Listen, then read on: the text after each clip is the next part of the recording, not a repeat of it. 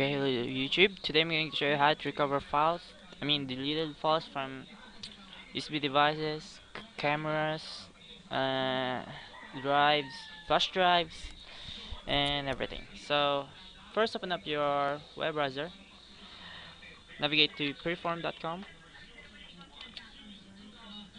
There it is.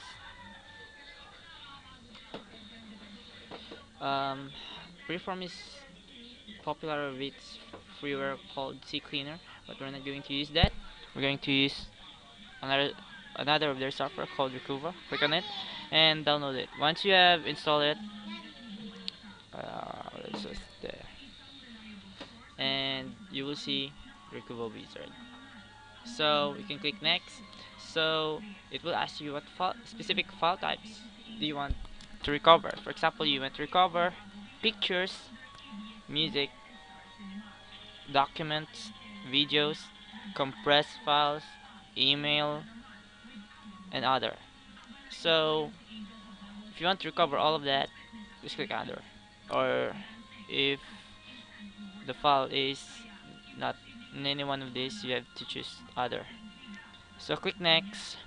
So it will ask where was the file located. So if you're not sure, it will search the whole computer, including the local drive, I mean, including the hard drives, flash drives, everything. So on my media card or iPod, it will search on the removable medias um, connected to your computer.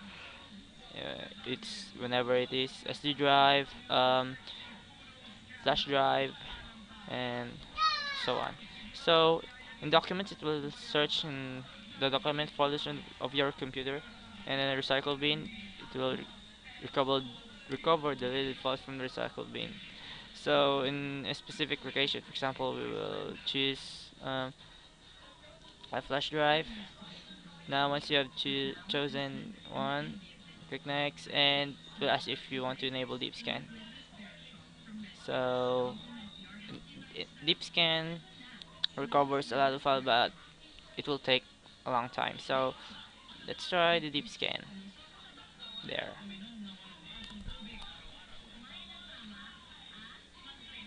Okay, so um, if you're wondering what are the other colors of circle, um, these indicate the the the condition of the file if it is um, recoverable or not. Uh, green indicates that the file is in excellent condition and you can recover it, and the red indicates that unrecoverable. So the yellow stands for poor. Maybe you can recover it or not, but it will be in the poor condition. So once you have once you want you want to recover all of that, click on the file name above.